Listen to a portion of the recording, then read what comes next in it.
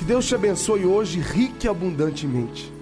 O Padre Alessandro, neste momento, deseja a você a paz que vem do Senhor. Vós sois a luz do mundo.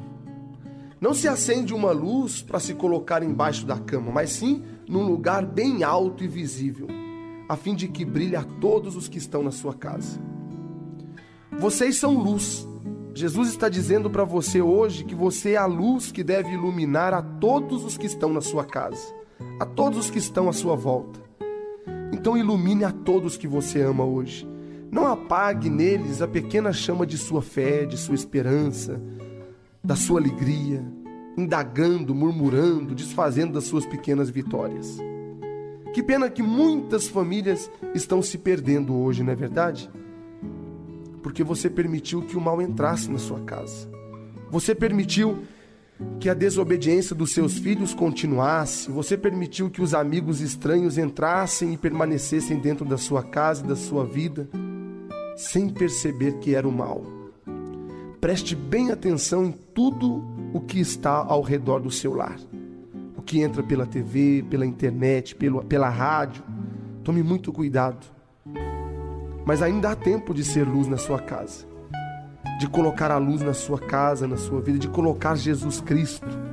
Com Jesus Cristo, meu irmão, tudo será diferente, pois ele diz: Eu sou a luz do mundo. Aquele que me segue não andará nas trevas, mas terá a luz da vida. Coragem, acenda a luz na sua casa e coloque num ponto bem alto, para que clareie tudo o que está em volta. Sendo assim, as trevas do mal serão totalmente desfeitas. Porque de uma coisa eu tenho certeza: o dia que Jesus Cristo for prioridade na sua casa, na sua família, você viverá a experiência daquele que diz: Eu sou a luz do mundo. Quem me segue não andará nas trevas, mas terá a luz da vida. Padre Alessandro hoje quer abençoar a sua casa, a sua família e faça agora exatamente aquilo que seu coração está pedindo. Coloque na frente do seu rádio um copo com água, traga suas fotos e coloque a sua família para receber essa bênção do dia. Pai amado, Pai querido, dignai-vos abençoar este teu filho e esta tua filha que me escuta agora.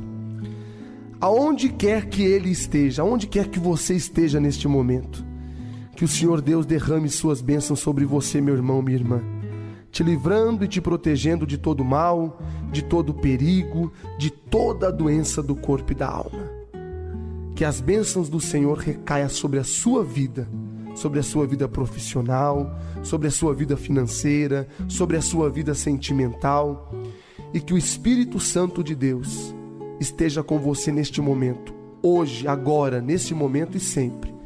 E que o Deus te proteja de toda a maldição, de toda a doença do corpo e da alma, de toda fraqueza, de toda angústia, de toda depressão, de todo ressentimento, de todos os maus sentimentos que fazem da sua vida cada vez mais uma vida pior.